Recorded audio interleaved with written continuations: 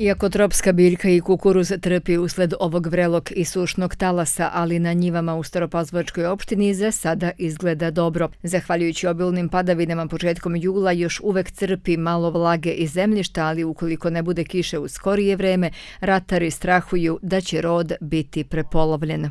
Biljka utiče isto kao i mi ljudi, trpi velike vrućine, ogromne. Jedina sreća je bila što je 1.7. pala ona kiša gde je malo osvežila, Eh, na obzirom da je bila veća količina padavina od 80 do 100 litara, još uvijek crpi malo iz zemlje, što je dobro u tom momentu.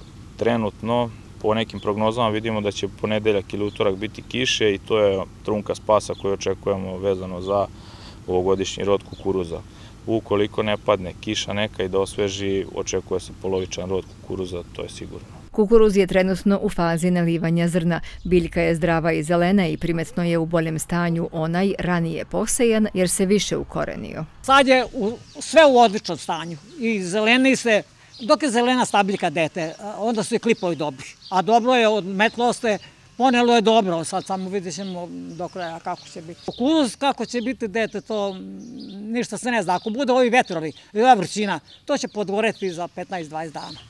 To ne može znati, ali za sada dobro stoji. Ja sam 12. posajavo, na vrijeme lepo niklo, bilo je malo ovih glodara miševa i na pšenici, i na kukuruzu, ali to se mora da, da, da se vodi računa, da se obilazi, da, da se suzbije to, to da ne bude, ume da bude štete od glodara. Kada je reč o suncokretu na nekim parcelama u trenutku kiša i nevremena, stradao je kao i prošle godine, tako da je rod pod znakom pitanja, a najavljene padavine sljedeće nedelje jedini su spas i za useve soje. Jedan od najstarijih poljoprivrednika u Vojki, Petar Jovanović, kaže da se ratari prilagođavaju promeni klime koliko mogu, ali on ne pamti ovakve vrućine.